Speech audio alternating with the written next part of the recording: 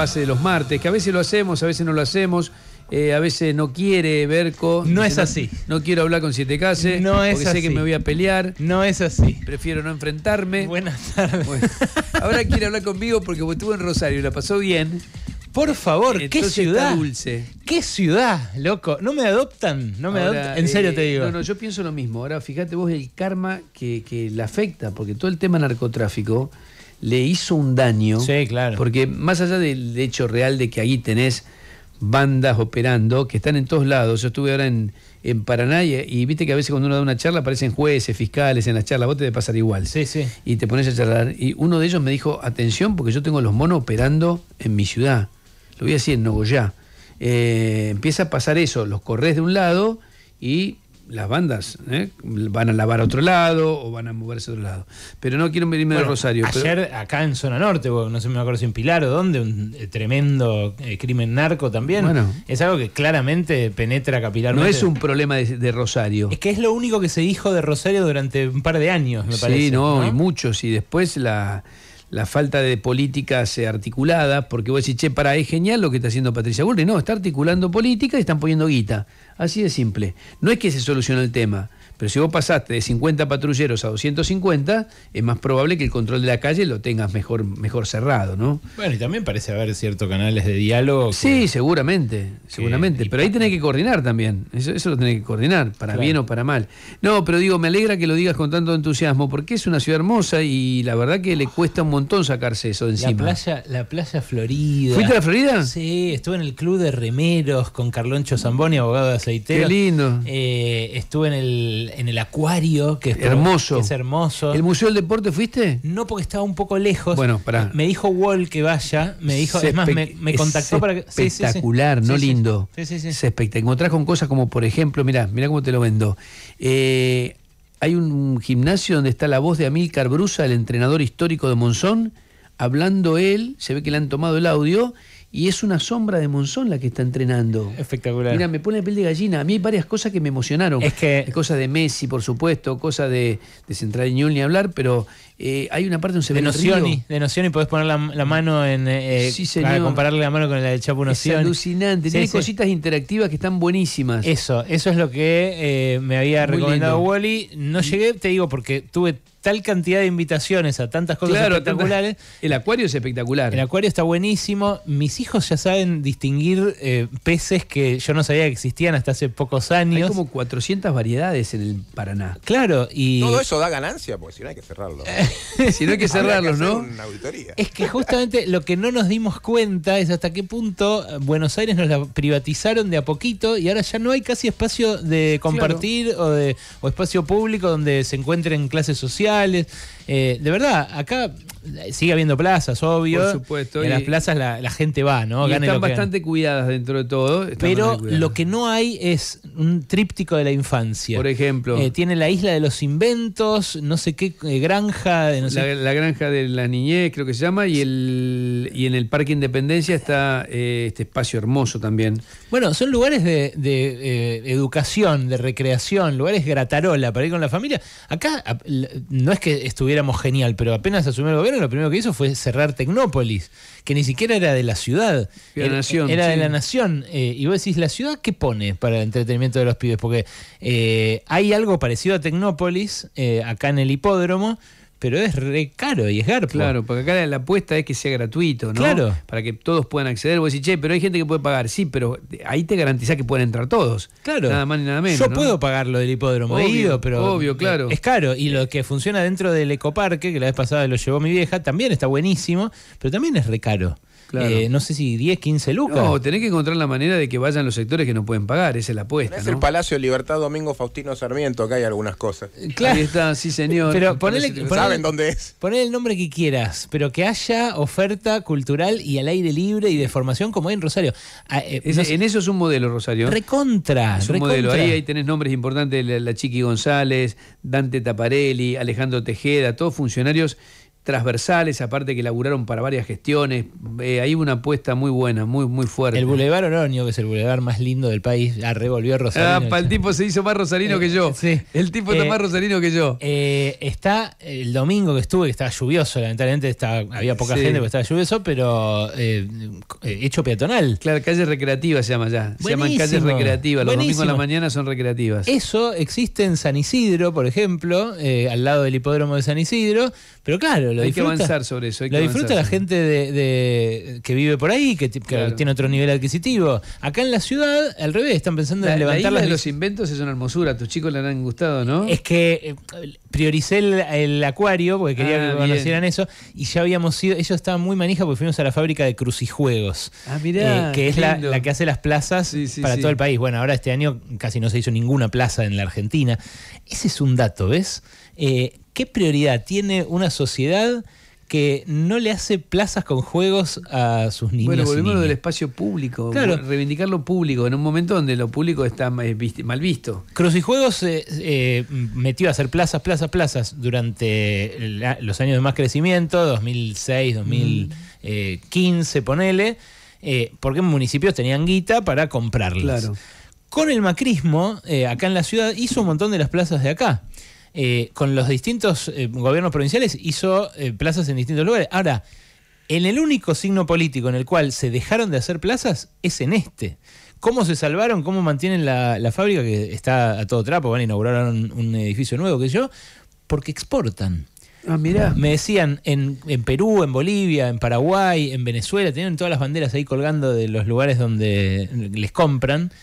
Eh, importan desde acá, aun cuando estemos caros en dólares, porque a lo mejor no se hacen en esos lugares y ellos tienen la. no se hace en esos lugares y es muy caro, muy caro traerlo de China, porque como son cosas voluminosas. Claro, claro, el traslado te, te, te encarece mucho el costo. Entonces, eso, eso lo salvó. Bueno, ahí, ahí estuvieron flasheados Manu y Maite con, con, el, con los toboganes, todo lo que hacen Sí, ahí. sí. Eh, y después encima tenían casas de jueguitos eh, electrónicos, así que mm, me costó bueno, qué bueno, qué bueno. Me No, alegro. hermosa ciudad, Rey, Me- gracias. Me, alegro Gracias, le dice como si me hubiera invitado Sí, él, ¿eh? pues yo soy como el intendente, no que sin funciones. Honorario, ¿Comiste honorario. Pescado? Pues si no comiste pescado, no conoce Rosario, Comí- dicen.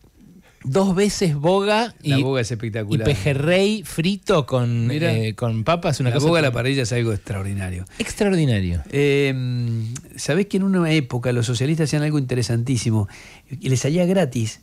Venía a Rosario y hacían una reunión, podía ser un café, un desayuno, y juntaba a todos los periodistas o comunicadores o artistas de Rosario, invitaba. Y generalmente íbamos, te invitaba Wiener o Lipchi, ¿cómo no? vamos a ir? Y se aseguraba difusión. Decían, miren, lo que estoy preparando es hacer esto, hacer esto, hacer esto, hacer esto. Claro, y vos te terminabas comunicándolo. O sea, vos te decían, che, mira, vamos a lanzar el tríptico de la infancia. Necesitaría que me den una mano. que fue-". No ponían un mango. Claro. Estaba muy bien. Y en el fondo, ¿qué hacía? Eh, yo se lo recomiendo a todos los. Si vos tenés mendocino, cosas, che, dame una mano. Sí, claro. Eh, difundí esto, Sí, ayúdame. Sí, sí, sí, sí. estaba muy bien. Y de paso, nosotros hablamos un poco de política con, con ellos, pero estaba, estaba muy buena la idea. No, lo del pescado es eh, épico, eh, es algo, una experiencia que hay que hacer. La- el la- río ayuda, ¿no? El río cerca también le da un marco a la ciudad. Yo fui de un tirón, tanto a la ida como a la vuelta. No sé si todas las vejigas aguantan, el que toma mate la va a no, pero tres- complicado. dos horas y media, tres horas está, sí, Por y a eso. un buen ritmo, sin, ella es autopista. Es inexplicable que no haya un tren de alta velocidad. Bueno, claro. Inexplicable. Estuve con un montón de amigos eh, izquierdistas de, de ahí. eh, no solo los de Ciudad Futura, estuvimos comiendo un pescadito eh, hermoso con Karen y Juan, que me llevaron al tambo, la resistencia. Y no fuiste a las islas, porque comer enfrente, cruzarte enfrente es otra experiencia hermosa. Eso lo voy a hacer en verano. Bueno, Porque- ojalá esté y te acompaño. Dale, re. ¿Yo Me- sabés con quién confío de acá, del equipo? ¿Con quién? Y con las nenas, con Sloto. Ah, La mira. última vez que fuimos, la Listo. pasamos genial. Dale, La listo. Te tomo la palabra, porque Dale. me ofrecieron ir al, al bracito ese que hay detrás de la isla, que no sé Sí, pero igual tenés varios lugares, te cruzás enfrente, no sé, lo de Pablo en te le avisás y te prepara el pescado mientras estás yendo, ¿no? Está buenísimo. Bueno, y me decían algunos, amigos de, no sé, de mi grupo de economistas de referencia de allá, que es el MATE, que algunos habían militado en su momento con Pino Solanas. Claro, mirá. Eh, claro, en su momento hubo cierto progresismo que estuvo en contra del tren bala Rosario. Bueno, claro, yo, lo- mira, a mí me pasó estar en los medios en esa discusión. ¿Y? Lo que pasaba es que plantear un tren bala en un momento que todo el servicio ferroviario estaba hecho pomada, era como plantear hacer un rascacielo en, en una villa. Mm. Eh, a mí me parece que eso tendría que haber sido parte. Para mí el error fue que no sea parte de un programa general de reconstrucción del tren. Entonces vos podés decir, che, mira, hay algunas ciudades que se bancan a tener un tren de alta velocidad. Eh, no sé, porque podés hacer el corredor Rosario, eh, Buenos Aires, Rosario, Córdoba podrías hacer. Obvio. Y tendría gente todo el tiempo. Es más, el actual tren, que tarda como seis horas, es muy usado, muy demandado. Ah, sí. Mi hermana viene en ese tren, se Mirá. toma a la una, la, creo que a la una de la mañana y llega a la mañana. Me dice, me sale una décima parte de lo que vale el colectivo, voy durmiendo, está bien el tren, la estructura del tren, lo que pasa es que es lento, están las vías que no están renovadas, hay lugares que, que hay villas y se han, se han quedado muy cerquita de la vía, entonces no podés ir rápido, Claro. pero si vos pusieras realmente eh, eh, la guita ahí, tendrías un tren que, no sé, cuatro viajes por día. Pero bueno, yo vengo de China, obviamente estoy engolosinado con Claro, ves cómo funciona el servicio ferroviario y decís, trenes, bacana. trenes a 400 kilómetros por hora. Pero claro. eh, te cambian un país. Pero con que fueras, mirá, con que fueran a 150 kilómetros, que tardara, con que tardara lo mismo que el auto, ya está.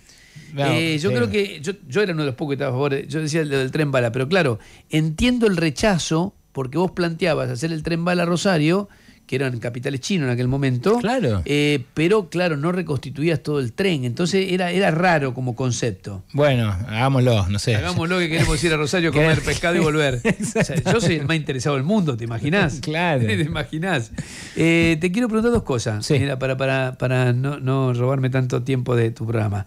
Eh, eh, no sé si, ¿lo escuchaste a Franco decir asociar con la guerrilla la toma de facultades? Una barbaridad. ¿Sabés que me pasó una cosa curiosa? Recién la aclaré dos y media. Me escribió Kelly Olmos. Yo dije, mira, este tipo que viene del peronismo dice esto. Kelly Olmos prendía fuego. Me dice, no, no.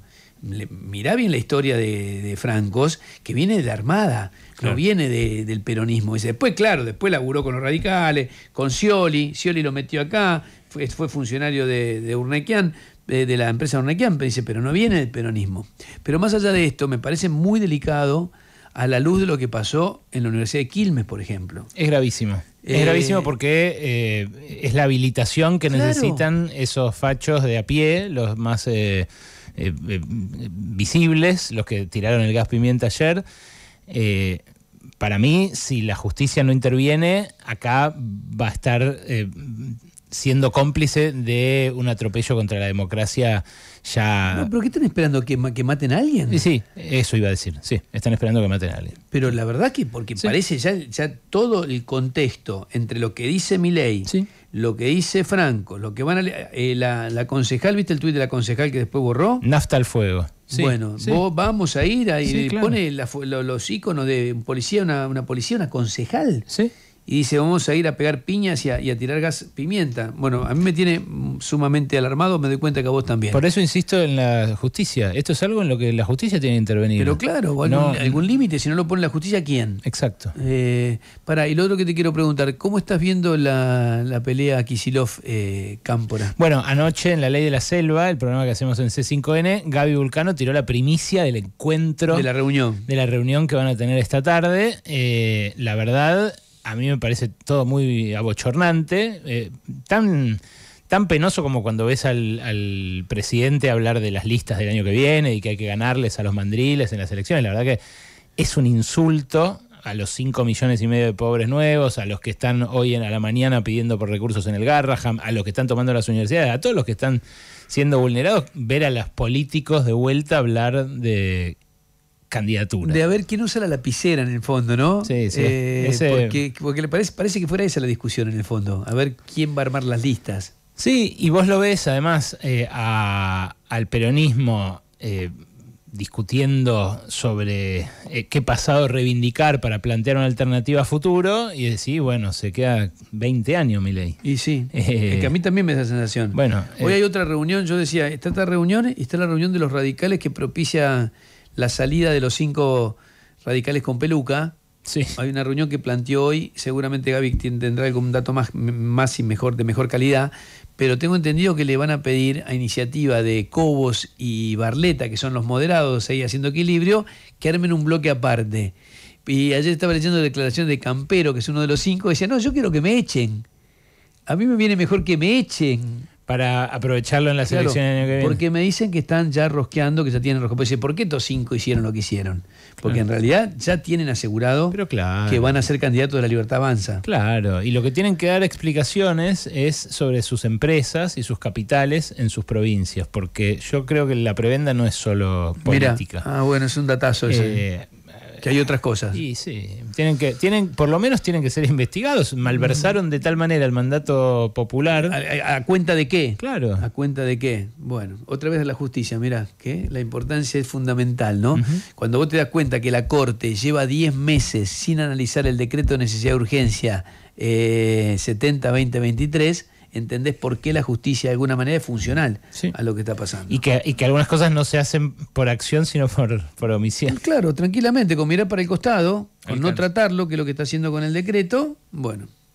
Buen programa, amigo. ¿Se acepta entonces mi solicitud de adopción? Sí, te vamos ¿Eh? a adoptar, te vamos a adoptar. Sí, ¿por qué no? Ya te veo haciendo un programa de allá. ¿Tenés que hacer programas de allá? Sí, está. lo vamos a hacer de Eh. vuelta. Ya lo hicimos, el de 7 de Ciudad Futura, pero vamos a volver. ¿Qué- Yo- ¿Dice que sí, Mauro? Dice que Sí, sí. yo estoy viendo ahora también si hago alguno allá que también me inciten, eh, porque hay una semana Fontana Rosa. Espectacular, espectacular. Así que estoy viendo si a lo mejor nos La sumamos calle a. Fontana Rosa, el viaducto Ernesto Che Guevara.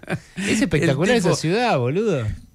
Eh, te voy a incentivar más. ¿Sabés que los socialistas el quilombo, que estatizaron un cine? ¿El, el Cairo? El Cairo lo compraron. Ah, sí, sí. Se vendía. Y lo mismo hicieron con la comedia. La comedia, bien, porque además era patrimonio histórico. Pero en el caso del cine, eh, es que funciona como el gumón. Y funciona genial. Claro. Buena película, la gente va. Sí. eh, y la discusión era, che, ¿tiene o no que comprar un, un cine? Fue muy interesante. Y el tipo lo reivindicaban con esto. Es un espacio público, es un espacio de la gente. Es, es interesante a veces pensar un poco también con esos márgenes, ¿no? Ya estoy firmando los papeles. Ya está. Ciudadano Rosarino, Ale Berkovich. Chao.